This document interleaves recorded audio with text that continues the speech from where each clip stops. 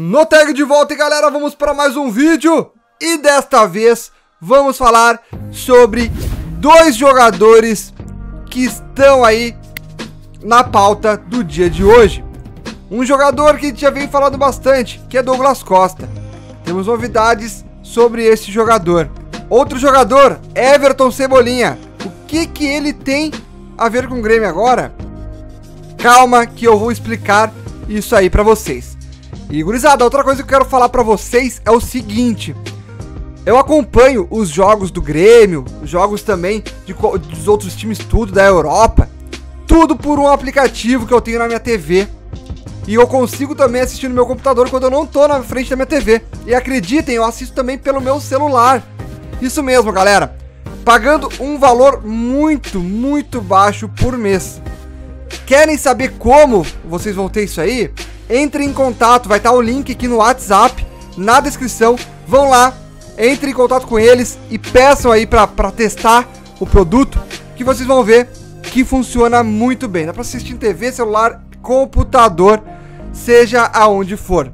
Beleza? Então entra ali que vocês não vão se arrepender. Vamos começar então, galera. Primeiramente, Everton Cebolinha, o que ele tem a ver com o Grêmio?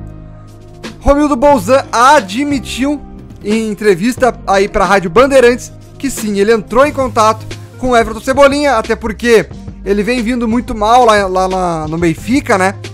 Inclusive também ele já tinha até excluído, excluído não, uh, desativado temporariamente sua conta no Instagram, porque ele havia tido muitas ameaças até de morte, galera, por conta das uh, partidas que ele, que ele vinha não via vindo, não vinha vindo muito bem, né, nos jogos.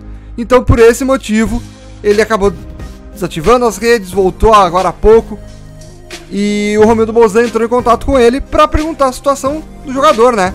Tentou amparar o jogador, tentou né, abrir os braços pro jogador, porque tipo, se tá mal lá dessa forma, cara, vamos tentar negociar. Vamos ver se, se não, não quer voltar aqui pro Grêmio. As portas estão abertas. Porém, obviamente, ele não quis, né? Ele não não, não, não, não, não, é que não quis de uma forma, não, não, não, não vou voltar pro Grêmio, não assim. Mas o Romildo explicou o motivo.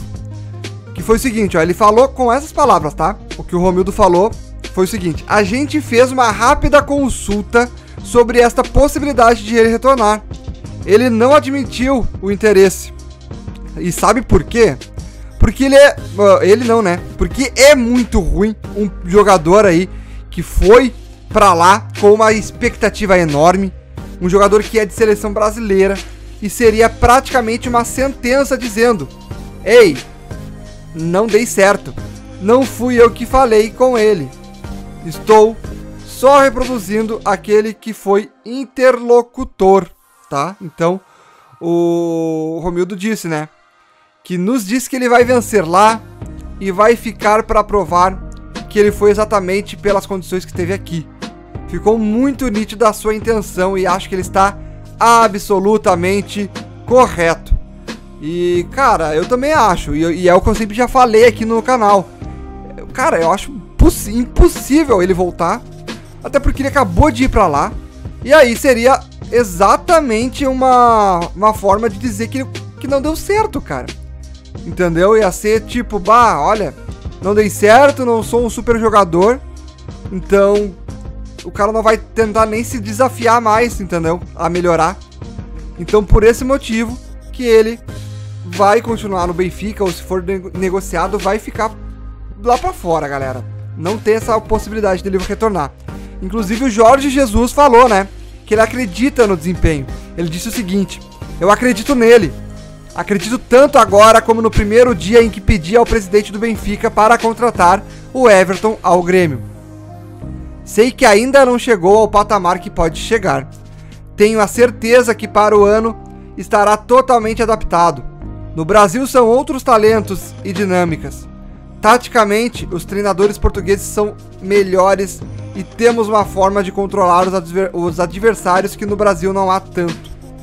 Lá é o talento do jogador que resolve os problemas, disse o Jorge Jesus também aí em uma entrevista. Então, a ideia tanto do Jorge Jesus, tanto do Cebolinha é de dos dois aí serem parceiros juntos, né, do Jorge Jesus aí comandar e ajudar o Cebolinha a melhorar o seu desempenho lá em Portugal.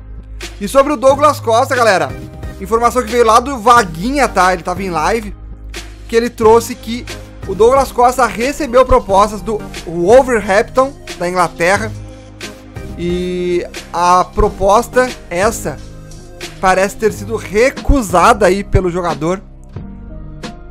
Mas não se tem o motivo, né? Não se tem o motivo dessa recusa, se é por questões que provavelmente são de valores, que não foi uma proposta tão alta.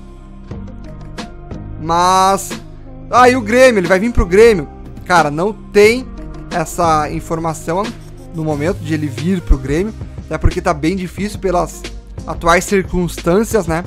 Mas a informação que se tem é que a vontade dele é de voltar pro Grêmio, é de morar em Porto Alegre, mas tem outras coisas aí no meio disso.